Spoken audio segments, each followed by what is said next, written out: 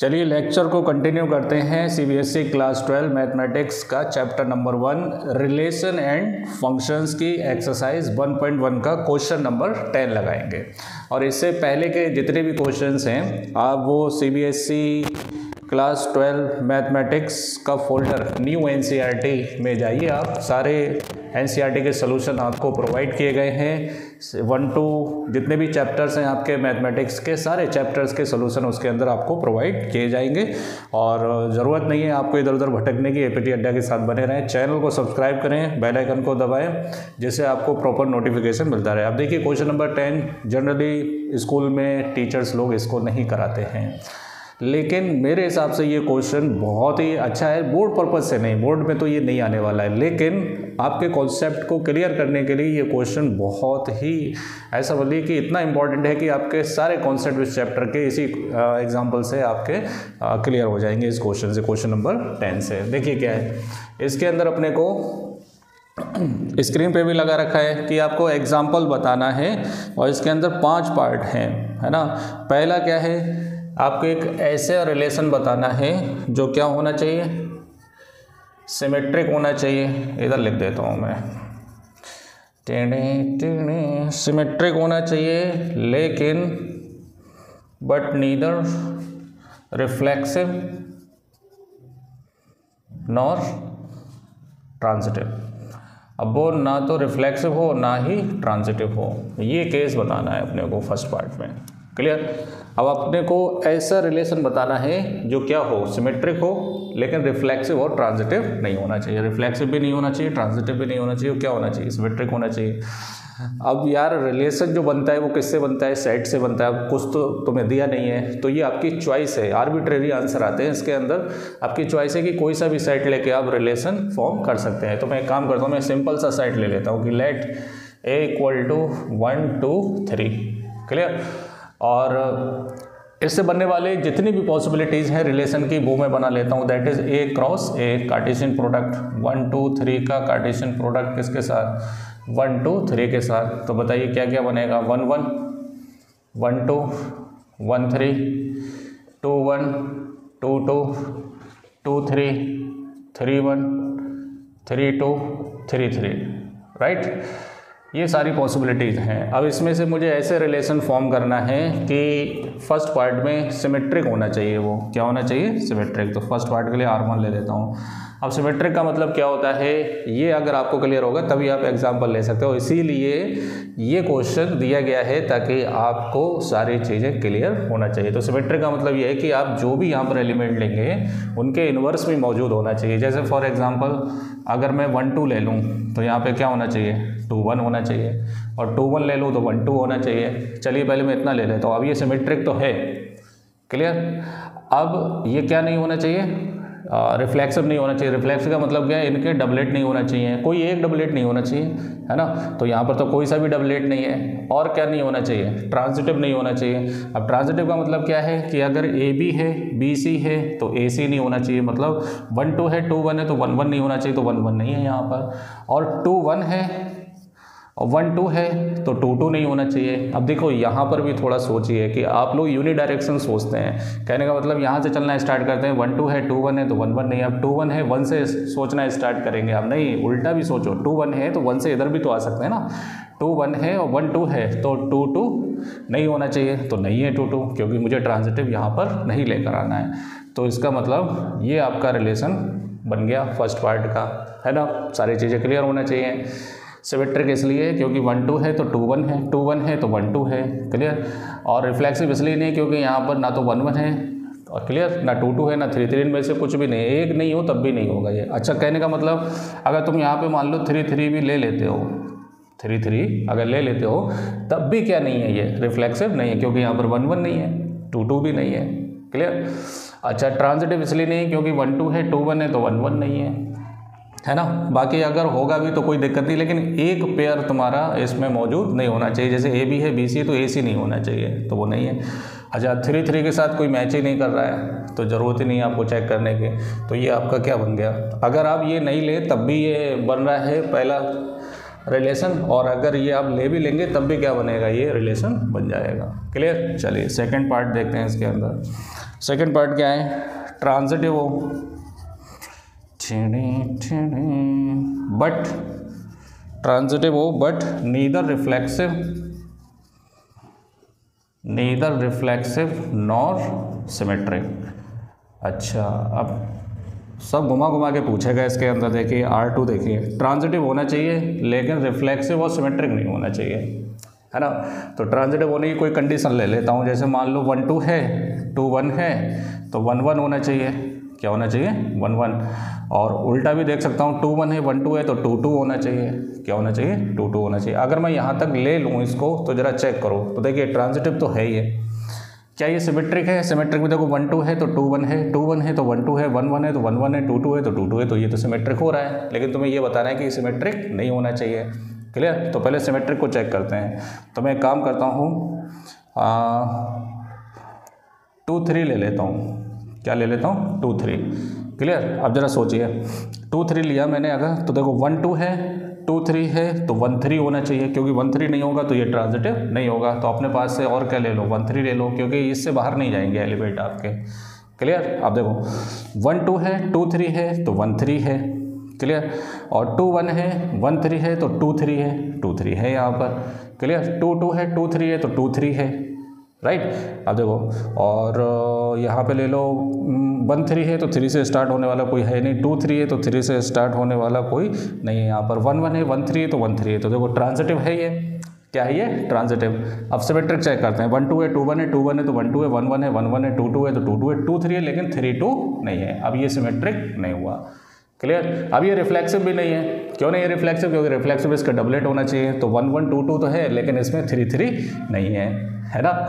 चलिए, मन में लड्डू फूटा हो तो यार पहले फटाक से बेल आइकन को दबा दें, आगे बढ़ते हैं, इसका अगला पार्ट लगाते हैं क्लियर रिफ्लेक्सिव सिमेट्रिक ट्रांजिटिव की कंडीशन क्या होती है? ये आपको बिल्कुल क्लियर होना चाहिए। तभी आप ये एग्ज़ाम्पल बना सकते हैं रिलेशन के।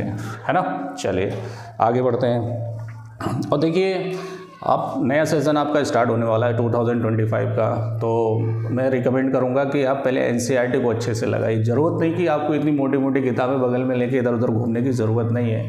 आप सिर्फ़ एन e को लगाइए, क्योंकि 70 परसेंट वेटेज आपका एन e से ही आता है बोर्ड एग्ज़ाम के अंदर। राइट चलिए थर्ड पार्ट देखिए। एन लगा लो, वही बहुत बड़ी बात है, इतना आसान नहीं है। तो उसके लिए अपने को क्या करना है ए पी चैनल को सब्सक्राइब करना है। है ना? बेल आइकन को दबाना है। रिफ्लेक्सिव हो सिमेट्रिक हो। रिफ्लेक्सिव हो सिमेट्रिक हो, लेकिन ट्रांजिटिव ना हो बट नॉट ट्रांजिटिव टेढ़े टेढ़े। देखते हैं भैया आर थ्री अब रिफ्लेक्सिव का मतलब ये कि इनके डबलेट होना चाहिए। तो लिख लो भैया, तभी तो होगा। वन वन टू टू और थ्री थ्री तो ये रिफ्लेक्सिव हो गया। सिमेट्रिक भी हो गया वन वन है टू टू है टू टू है थ्री थ्री है है ना? और ये ट्रांजिटिव भी हो गया। ट्रांजिटिव के होने की एक और कंडीशन अगर ए बी है और बी सी नहीं मिल रहा है तो वो क्या माना जाएगा? ट्रांजिटिव माना जाएगा। तो अभी तो ये तीनों हैं, लेकिन उसने बोला है ट्रांजिटिव नहीं होना चाहिए। क्या नहीं होना चाहिए? ट्रांजिटिव तो हम एक काम करते हैं। थ्री टू ले लेता हूँ साथ में इसके। क्या ले लेता हूँ? थ्री टू क्लियर अब देखो। थ्री थ्री है थ्री टू है तो थ्री टू है यहाँ पर। तो ये तो ये ट्रांजिटिव बन जाएगा, लेकिन ट्रांजिटिव नहीं बनना चाहिए। तो इसको हटा के कुछ और ले लो। और ऐसा क्या ले लूँ मैं? बताइए भाई। एक काम करता हूँ, यहाँ पर ट्रांजिटिव नहीं होना चाहिए, लेकिन सिमेट्रिक होना चाहिए। क्या होना चाहिए? सिमेट्रिक तो इसमें से कोई भी एलिमेंट उठा लो। One one, two two, three three तो हो गए यहाँ पर। तो एक काम करते हैं, यहाँ पर चलो, एक काम करते हैं, थ्री, टू ही ले लेते हैं। क्या ले लेते हैं? Three, two. अब देखिए। थ्री थ्री है थ्री टू है तो थ्री टू है यहाँ पर। और थ्री टू है टू टू है थ्री टू है और टू टू है तो थ्री टू है यहाँ पर। तो अभी तो ये ट्रांजिटिव हो रहा है। क्लियर और देखते हैं। या एक काम करते हैं थ्री वन ले लेते हैं। क्या ले लेते हैं? थ्री वन तो देखो थ्री थ्री है थ्री वन है। थ्री थ्री है थ्री वन है तो थ्री वन है यहाँ पर। है ना? और थ्री वन है वन वन है तो थ्री वन है यहाँ पर। क्लियर अब एक काम करता हूँ, मैं इसके साथ ले लेता हूँ। वन टू ले लेता हूँ। क्या ले लेता हूँ? वन टू अब देखिए थ्री वन है और वन थ्री है तो थ्री टू होना चाहिए, लेकिन थ्री टू यहाँ पर नहीं है। क्लियर देखिए, इसमें एक और one one two two three three, ये तो तुम्हारे पास थे पहले से ही। अब इसमें जो बचे हुए थे, वो मैंने एक क्या ले लिया, थ्री वन ले लिया और एक क्या ले लिया, वन टू ले लिया। तो थ्री वन वन टू तो थ्री टू नहीं है यहाँ पर। थ्री टू बताओ, है कहीं पर? नहीं है ट्रांजिटिव। तो ट्रांजिटिव तो ये नहीं है, लेकिन पहले मैं चेक करूँ कि ये सिमेट्रिक है या नहीं है। तो देखो, थ्री वन है तो वन थ्री तुम्हें लेना पड़ेगा। वन टू है तो टू वन लेना पड़ेगा। क्या लेना पड़ेगा? Two one. क्लियर? अब देखिए, थ्री वन है, वन टू है तो थ्री टू होना चाहिए तो थ्री टू नहीं है यहाँ पर। है ना? बाकी का मैच करे या नहीं करे डजेंट मैटर एक आप कंडीशन बता दो ट्रांजिटिव ना होने के। क्लियर अब वैसे देखो थ्री वन है वन थ्री तो थ्री थ्री है यहाँ पर। और वन टू है टू वन है तो वन वन है यहाँ पर। है ना? अब हमने बता तो दिया कि नहीं है क्या? थ्री वन और वन टू तो थ्री टू नहीं है यहाँ पर तो ये ट्रांजिटिव नहीं है। क्लियर रिफ्लेक्सिव इसलिए है क्योंकि इन सबके डबलेट है। सिमेट्रिक इसलिए है कि इसके इनवर्स यहाँ पर अवेलेबल हैं। ट्रांजिटिव इसलिए नहीं क्योंकि ए बी है बी सी है तो ए सी नहीं है। चलिए, चौथा पार्ट देखिए। फोर्थ पार्ट क्या है? रिफ्लेक्सिव होना चाहिए। और ट्रांजिटिव होना चाहिए। Reflexive and transitive but not symmetric क्या नहीं होना चाहिए? सिमेट्रिक नहीं होना चाहिए। क्लियर चलिए बताइए। आर फोर अब रिफ्लेक्सिव होने का मतलब इन सब के डबलेट होना चाहिए। वन वन है टू टू है थ्री थ्री है। क्लियर अब ट्रांजिटिव का मतलब ये है कि आपने अगर टू थ्री लिया तो देखो टू टू टू थ्री तो टू थ्री है यहाँ पर। टू थ्री थ्री थ्री तो टू थ्री है यहाँ पर। क्लियर और सिमेट्रिक नहीं होना चाहिए। क्या नहीं होना चाहिए? सिमेट्रिक तो देखो वन वन का उल्टा वन वन टू टू का उल्टा टू टू थ्री थ्री का उल्टा थ्री थ्री टू थ्री का उल्टा थ्री टू तो थ्री टू नहीं है यहाँ पर। अब ज़रा सोचो। यहाँ पर रिफ्लेक्सिव इसलिए क्योंकि इन सबके डबलेट हैं यहाँ पर। ट्रांजिटिव इसलिए क्योंकि वन वन है तो वन से स्टार्ट होने वाला नहीं तो अभी ट्रांजिटिव है। टू टू है टू थ्री है तो टू थ्री है यहाँ पर। थ्री थ्री है थ्री से स्टार्ट होने वाला नहीं तो ट्रांजिटिव है। टू थ्री है और थ्री थ्री है। तो टू थ्री है यहाँ पर क्लियर तो अभी तक तो ये क्या है? ट्रांजिटिव भी है रिफ्लेक्सिव भी है, लेकिन सिमेट्रिक क्यों नहीं है? सिमेट्रिक इसलिए नहीं है क्योंकि टू थ्री का उल्टा थ्री टू नहीं है यहाँ पर। देखिए कितना इंपॉर्टेंट है ये। है ना? चलिए, आगे बढ़े। चलिए लास्ट पार्ट देखिए इसका फिफ्थ पार्ट देखते हैं। और ये क्वेश्चन जब तुम्हारे बिल्कुल समझ में आ जाए ना तो आप एक एग्ज़ाम्पल अपने पास से लेना। थोड़ा बड़ा एग्ज़ाम्पल ले लेना और ख़ुद से बनाकर देखना कि कहाँ पर हमसे मिस्टेक हो रही है रिलेशन बनाने में। अब फिफ्थ पार्ट में हमारे पास सिमेट्रिक होना चाहिए एंड ट्रांजिटिव होना चाहिए। क्या होना चाहिए? Transitive but not reflexive reflexive नहीं होना चाहिए। अब रिफ्लेक्सिव ना होने का मतलब क्या है? कि इन सबके डबलेट नहीं होना चाहिए। सबके डबलेट नहीं होना चाहिए। है ना? किसी एक के भी डबलेट ना हो, तब भी क्या होगा? ये रिफ्लेक्सिव नहीं होगा। क्लियर अब देखिए ट्रांजिटिव होने के लिए मैं ले लेता हूँ वन टू और टू वन है ना? तो वन टू है टू वन है तो वन वन होना चाहिए। है ना? और टू वन है वन टू है तो टू टू होना चाहिए। क्लियर अब देखिए सिमेट्रिक इसलिए वन टू है तो टू वन है टू वन है तो वन टू है वन वन है तो वन वन है टू टू है तो टू टू है। और ट्रांजिटिव इसलिए क्योंकि वन टू है टू वन है तो वन वन हो गया टू वन है वन टू है तो टू टू हो गया। क्लियर और टू टू है टू वन है तो टू वन हो गया। बिल्कुल है यहाँ पर। क्लियर अब ये रिफ्लेक्सिव क्यों नहीं है? रिफ्लेक्सिव इसलिए नहीं है क्योंकि यहाँ पर थ्री थ्री नहीं है। क्या नहीं है? थ्री थ्री नहीं है। क्लियर अब ये कैसा हो गया? ट्रांजिटिव भी हो गया सिमेट्रिक भी हो गया, लेकिन रिफ्लेक्सिव नहीं है ये।